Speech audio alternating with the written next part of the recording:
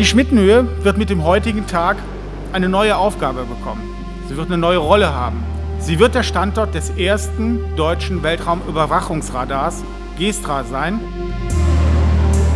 GESTRA ist äh, letztendlich eine dreidimensionale Vermessung des Weltraumes. Wir übergeben ein Radarsystem, das wir in den letzten vier Jahren entwickelt haben für das DLR, an das Weltraumlagezentrum der Bundeswehr. Dieses Radarsystem ist Technologie, die einmalig ist in Europa. Wir zeigen uns mit dem Standort Deutschland, wir sind in der Lage, State of the Art ganz an der Front der Wissenschaft zu arbeiten.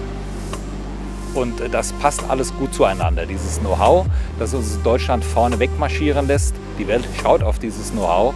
Und dann die Stationierung heute hier, das wird sich alles sehr bewähren. Und dann spielen wir in der World Liga.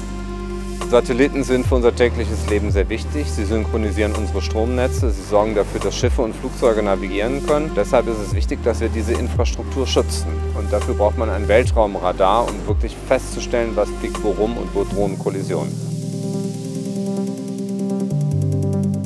Ich erinnere mich, ähm, als die Container ausgeliefert wurden, haben Mitarbeiter persönlich die Kabel gezogen und die Kabel gegriffen und das am Wochenende. Das zeigt den Einsatz und die Leidenschaft für dieses Projekt.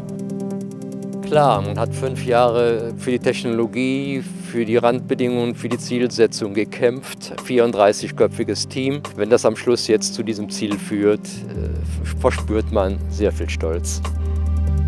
Und das ist natürlich der schönste Moment für einen anwendungsorientierten Forscher. Und ich persönlich sehe, das, sehe die Freude bei den Mitarbeitern, Mitarbeiter. Und ich persönlich freue mich auch, das ist immer die Kür, ein Produkt wirklich an den Kunden auszuliefern.